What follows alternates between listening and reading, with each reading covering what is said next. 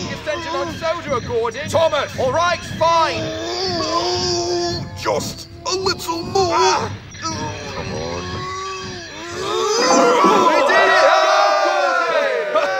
well done. Well, that was fun. Right, little Thomas?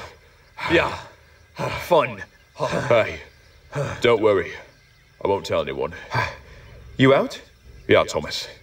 This is behind locked doors. Really? Well, I. Thank you, Gordon. I'm sorry I was rude to you about falling in the Oh, ditch. psh, d- d- don't even worry about it. That was funny, actually. You know what else? What? That whole incident put me in disgrace. You're in disgrace? So am I.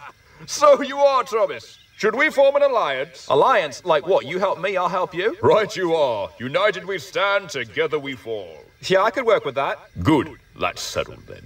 Let's get you home, little Thomas. And buffer to buffer, the Allies puffed home.